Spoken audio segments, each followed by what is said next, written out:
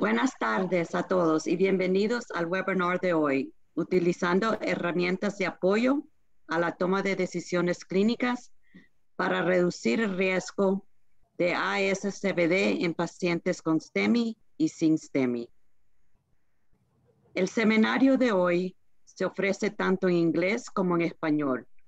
Para los servicios de traducción al inglés, haga clic en el globo Interpretación en su barra de herramientas y seleccione inglés. Antes de empezar, me gustaría repasar algunos temas para que sepan cómo participar en el evento de hoy. Este seminario web se está grabando y será enviado por correo electrónico en un plazo de 24 horas. Tendrá la oportunidad de enviar preguntas de texto escribiéndolas en el panel Preguntas del pano de control. Usted puede enviar sus preguntas en cualquier momento durante la presentación. Los recuperaremos a los abordamientos durante la sesión de preguntas y respuestas al final de la presentación de hoy. Si experimenta algún problema técnico durante la presentación, la mayoría se podría resolver actualizando su navegador.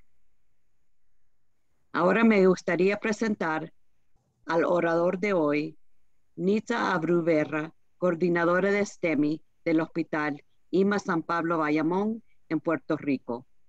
Nitza, te lo entrego. Buenos días a todos. Eh, mi nombre es Nitza Abreu, como dijeron. Yo soy la coordinadora del programa de STEMI de IMA San Pablo Bayamón. Para que conozcan un poco sobre quiénes somos, eh, ya que, ¿verdad? Somos los que, creo que somos la única eh, hospital que no está incluido dentro de los Estados Unidos. Eh, puedes pasar next. puede pasar la siguiente, gracias. Eh, nosotros somos del, grupo IMA San Pablo Bayamón que fue fundado en el 1976 y en, el, en abril del 2005 formamos parte del grupo médico del Turabo. Es una corporación mucho más grande que tiene cinco hospitales, dos centros ambulatorios y está dedicado a desarrollar eh, eh, medicina avanzada, prácticas de medicina avanzada. Nosotros contamos con 298 camas privadas, semiprivadas y, y suites ejecutivas. Tenemos 1.100 empleados que se dedican a, a, laborar aquí en servicio a, nuestra comunidad de Bayamón y pueblos limítrofes. Tenemos alrededor de 370 médicos en nuestra facultad y somos reconocidos como un símbolo en la, medicina de medicina avanzada aquí en Puerto Rico. También hemos sido eh, reconocidos porque tenemos eh, tratamientos innovadores en, cirugía, robótica, etcétera, etcétera. Y también en el, en el área cardiovascular, donde tenemos nuestro programa de cardiología intervencional que eh, trabaja 24 horas al día, los 7 días a la semana. Next. Eh, nosotros tenemos como parte de nuestro programa un comité de infarto al miocardio que es el que se dedica, eh, tiene la autoridad de desarrollar todas las guías y todas las prácticas que se realizan en el hospital relacionado al cuidado del paciente cardiovascular. Nosotros eh, revisamos las guías, implementamos las prácticas, creamos órdenes, creamos todo el, material de soporte de acuerdo a los estándares del American Heart y del ACC, monitoreamos este, eh, nuestros indicadores propios, ¿verdad? Para, mejor, para medir la calidad y poder eh, ver cómo podemos mejorar los procesos y cambiar eh, los mismos si es necesario de acuerdo a lo que hemos encontrado en las medidas. También implementamos políticas para los pacientes de, cuidado del paciente de Acute Coronary Syndrome. Establecemos programas educativos para ayudar a emergencias médicas, a los empleados del hospital, facultad y a la comunidad en general. También pues tratamos, eh, trabajamos para garantizar que las medidas eh, de calidad sean de acuerdo a las guías. Next. así que para nosotros trabajar lo que es el apoyo a las decisiones clínicas o los clinical decision supports, nosotros en el, específicamente en el área de colesterol, el manejo de pacientes con, condiciones de colesterol, eh, nosotros pues al iniciar el, la llegada del paciente se determina el historial de todas las condiciones específicamente, ¿verdad? También está este, el paciente que tiene hiperlipidemia y eh, así se sabe si el paciente tiene condiciones previas y si tiene medicamentos que se le hayan, eh, haya comenzado ya un tratamiento eh, anteriormente. Se hace una reconciliación de todos sus medicamentos. A los pacientes de acute coronary syndrome se, se, incluyen en las órdenes médicas que ya están estandarizadas en la toma de muestras de lipid panel en los pacientes de STEMI y en los pacientes de non-STEMI. También en las órdenes prescritas ah, incluimos las estatinas eh, para, que el paciente, para que el paciente continúe con su tratamiento o si el paciente es un paciente que fue eh, recientemente eh, nuevo, ¿verdad? diagnosticado nuevo, pues este paciente se, pueda dar el beneficio del medicamento durante la hospitalización. También determinamos si hay este, condiciones presentes que pueden aumentar el riesgo cardiovascular de este paciente a través de un buen historial de salud y un, eh, examen físico. Next. Aquí tenemos e, ejemplos de eh, hojas estandarizadas de órdenes médicas que se tenemos, tenemos varias, pero solamente traje un ejemplo para que vean que se incluye el, lipid panel entre las muestras que se le toman al paciente, que se especifica un área para la administración de la estatina, que el médico entienda que es la que el paciente eh, necesita, y también se hace una, entre, la, entre otras cosas, se le ofrece educación al paciente sobre sus condiciones y aquí tenemos el ejemplo de la, de la evidencia que, se, que realiza la educadora de salud con relación a los síndromes coronarios agudos, a la angina, a infarto, a los medicamentos que utiliza, etcétera, etcétera. Next. Next, ok, thank you. Aquí tenemos eh, también un ejemplo de material educativo que aunque está en español, obviamente acá nuestra población, eh, el, español es el primer idioma. Así que es un ejemplo de, la, de los, del material educativo que se le ofrece al paciente cuando se le ofrece la educación. Siguiente. Next. Ok. Además, cuando eh, se hace una revisión del expediente completo, se revisa lo que son los core measures o los indicadores de calidad de cumplimiento que nos pide eh, CMS en, en los diagnósticos de STEMI y de non-STEMI. Verificamos que el paciente al alta tenga una eh, receta que se le especifique, ¿verdad? Si es necesario que el paciente tome eh, eh, estatinas de alta intensidad y que, y que el médico documente la contraindicación a no, a no tomar este tipo de medicamentos. Es bien, bien importante que si el paciente no, no lo puede tomar, que le escriba la contraindicación. Eh, además, esto, una futura intervención que queremos hacer en, este próximo año es promover el uso de las guías de colesterol, ya que estamos participando en este programa, pues queremos eh, educar al staff médico para que ellos puedan estar al día en, esta, en las nuevas guías sobre el uso de colesterol. Siguiente. Next. Ok, aquí vamos a presentar un caso de, de, STEMI, un caso de estudio que tuvimos aquí entre los pacientes que hemos recibido. Y tenemos aquí una paciente que llegó eh, a nuestra sala de emergencia eh, ambulando con eh, una queja principal de dolor de pecho, que la tenía ya desde una semana más o menos, pero que se puso peor o, el paciente pues presentó un dolor agudo que la hizo venir a la sala de emergencia, una paciente de 66 años de edad, y llegó a la sala de emergencia a las 11 y 28 de la mañana con, este, con esta queja de dolor. Además de la queja de dolor, tenía un poco de dificultad respiratoria al caminar y refirió en, su eh, eh, evaluación que no tenía palpitaciones y que no tenía fiebre.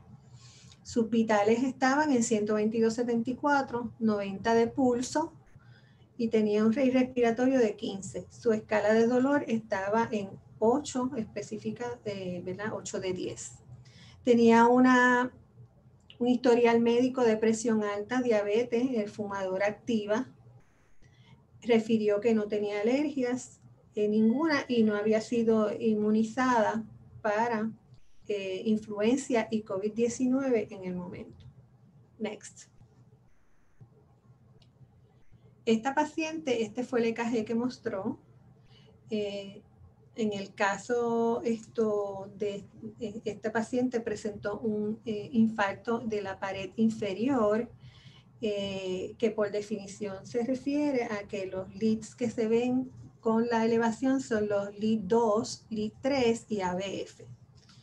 En este específicamente se puede ver en lead 3 y en ABF la elevación del segmento ST. Este KG se tomó a las 11 y 29 y el médico lo leyó a las 11 y 30. Next. Aquí para ser más específico en los tiempos, porque el paciente con STEMI es bien importante el tiempo del manejo. Tenemos, ¿verdad? Que el paciente llegó a las 11 y 28, se hizo el EKG a las 11 y 29 eh, el médico hizo la lectura del EKG a las 11 y 30 y se activó el código STEMI a las 11 y 35. Se tardaron más o menos 7 minutos en lo que, desde la llegada del paciente. El médico de la sala de emergencia eh, puso las siguientes órdenes. Le ordenó oxígeno eh, con calma a la sala 3 litros por minuto, le ordenó la toma de muestra de protocolo de STEMI, cual se llevó a cabo a las 11 y 49. Eh, se le tomó, se le hizo un acceso venoso con Heparin Lock a las 11 y 30, se le administró aspirina a las 11 y 58, se le dio su antiplaquetario, 180 miligramos de brilinta o ticagrelor a las 11.40 de la mañana y se le dio 5.000 unidades de parina a las 11.40. Este caso no se le administró nitro ni morfina por ser un infarto inferior. Más, más adelante voy a hablar un poco sobre eso. Next. Ok. El paciente se transfirió al laboratorio cardiovascular a las 11.52 de la mañana, cuatro minutos después de haber llegado al hospital y eh, llegó a, la suite del laboratorio cardiovascular a las 12 y 4, 36 minutos después de la llegada. Se hizo su acceso venoso, perdón, su acceso arterial a las 12 y 5 pm y a las 12 y 11 se le abrió la arteria. Por lo tanto, tuvimos un door to balloon de 43 minutos. Y aquí también evaluamos cuánto se tarda el médico desde, que llega a, o sea, cuánto tiempo le toma abrir la arteria desde que el paciente llega al laboratorio cardiovascular. Y en este caso fueron 19 minutos. Next. Esto fue el hallazgo de la, de la, angiografía.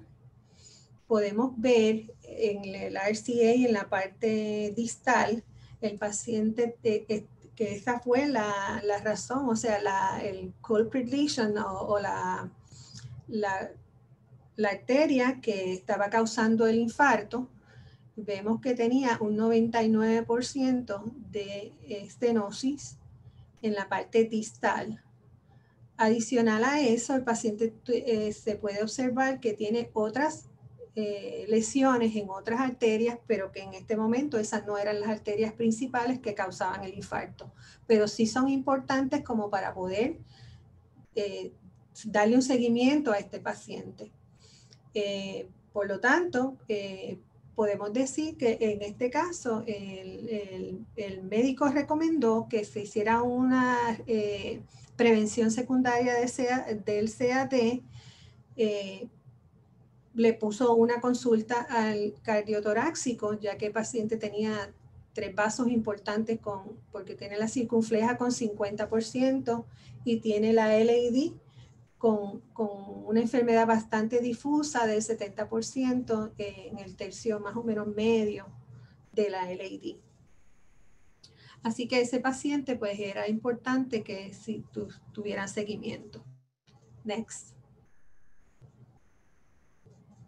Estos fueron los hallazgos de las imágenes, aunque las imágenes no son exactamente la misma vista, por eso tal vez no se puede apreciar tanto, pero podemos ver en la parte distal que hay una estenosis que no permite que pase el tinte de contraste en la primera vista que dice before eh, sin embargo, ya una vez se le pone el stent al paciente, en la siguiente vista podemos ver que el tinte de contraste puede pasar completamente en la arteria, por lo tanto, eso quiere decir que fue este, exitoso y que el paciente pudo, se pudo revascularizar esa eh, arteria que, tenía, eh, el, que estaba causando el infarto.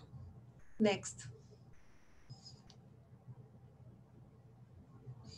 Ok, ya este, eh, una vez ya el paciente eh, sigue en el intensivo, se le, realizó su placa de pecho, se le había tomado su troponina, que esto se hizo inicialmente, eh, no tenía ninguna anormalidad en la placa de pecho, la troponina obviamente estaba bastante alta porque ya la paciente había tenido inicios de dolor de pecho eh, y no había venido tan rápido a recibir la atención médica.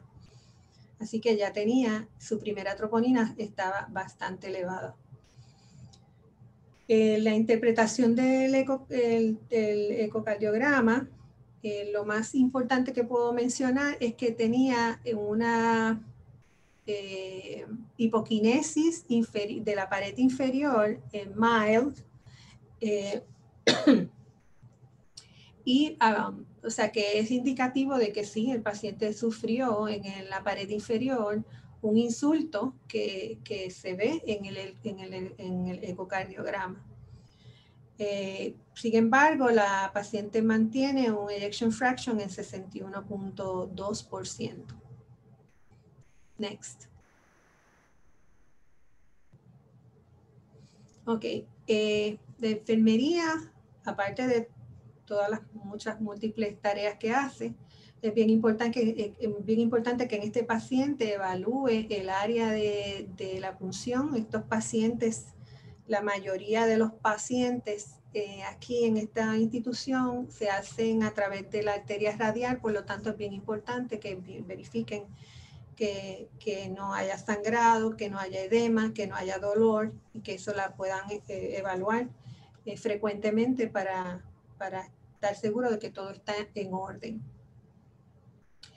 En cuanto a los tratamientos, bien importante que se eviten los nitratos en los pacientes con infarto inferior, porque esto pues disminuye la, la, la recarga de, del, eh, de, la parte derecha del corazón.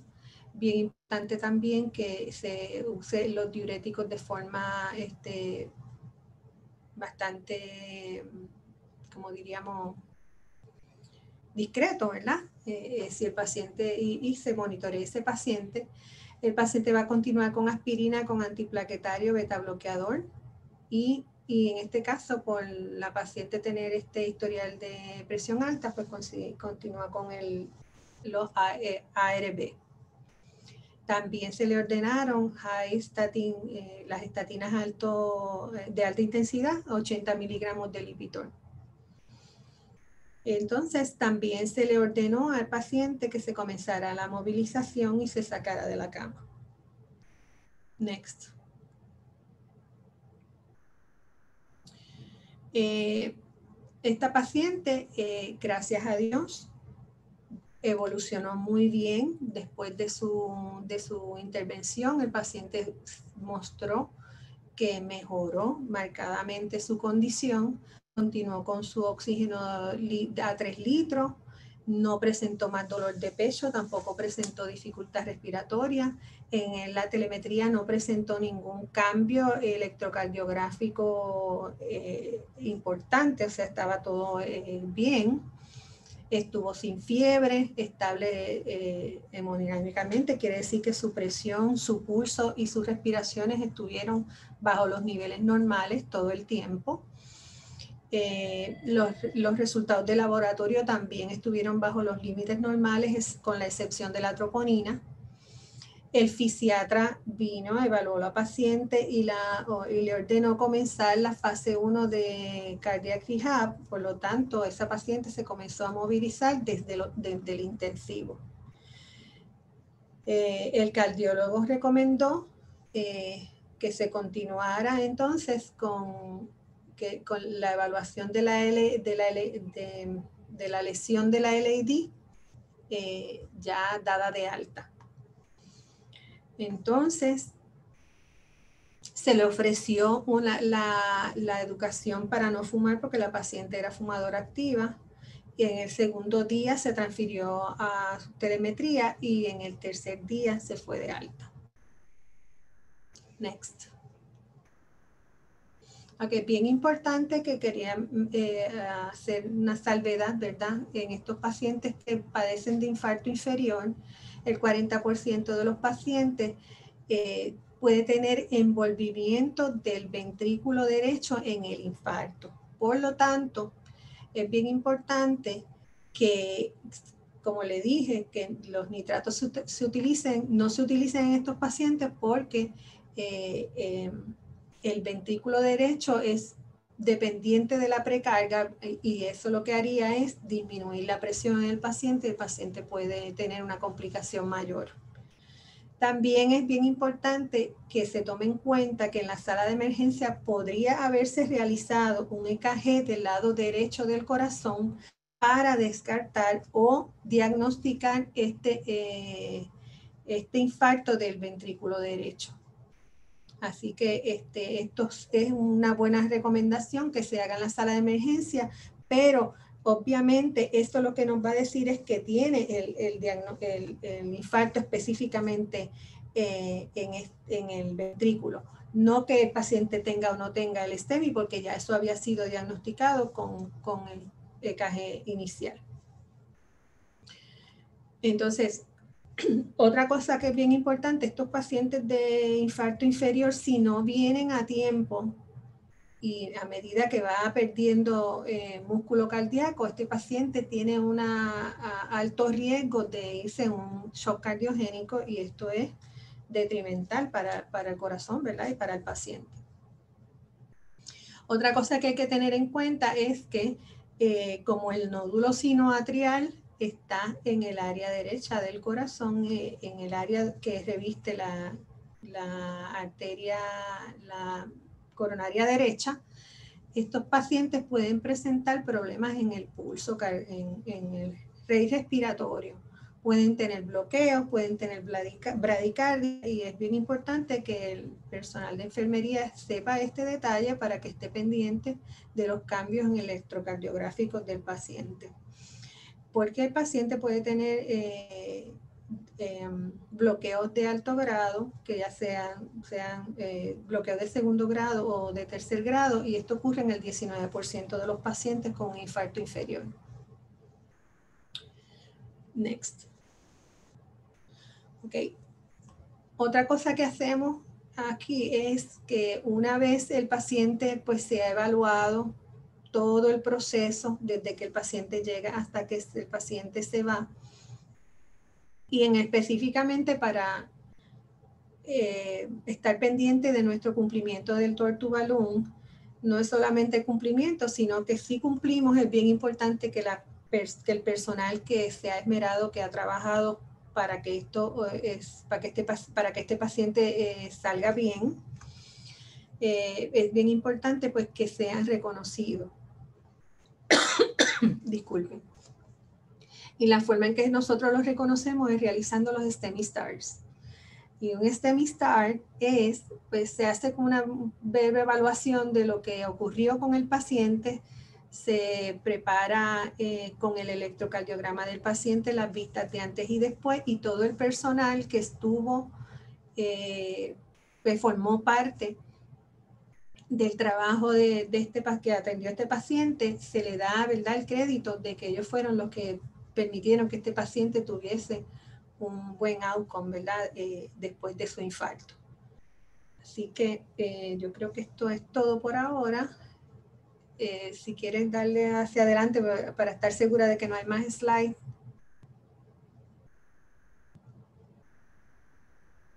Sí.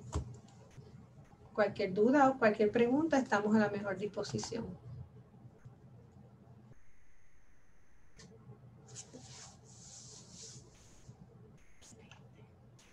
Gracias, Nitza. Ahora comenzamos a responder a las preguntas enviadas, enviadas durante la presentación de hoy. Como recordatorio, aún pueden enviar preguntas a través del panel de preguntas de panel de control del asistente, la área del chat. La primera pregunta. ¿Algunos de sus pacientes con STEMI están ingresados en el piso de telemetría o todos van al ICU, CCU juntos después del procedimiento PSA? Sí, muy buena pregunta. Todos nuestros pacientes de STEMI van a la, a la unidad de intensivo. Después que, ¿verdad? que ya están estables, pues pasan al área de telemetría.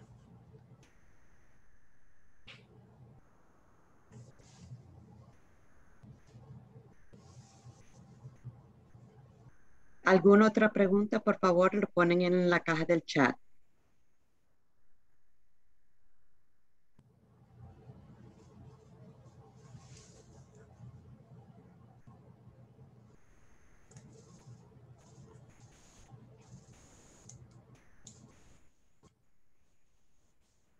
Bueno, no veo ninguna otra pregunta. Gracias a todos por asistir al seminario de web de hoy. Una vez que salga del seminario de web de hoy, también recibirán un correo electrónico de seguimiento durante las 24 a 48 horas con el, el, enlace para ver la grabación del seminario de hoy.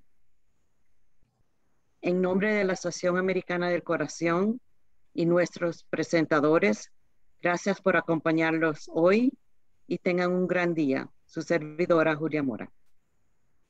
Muchas gracias. Gracias, Nita.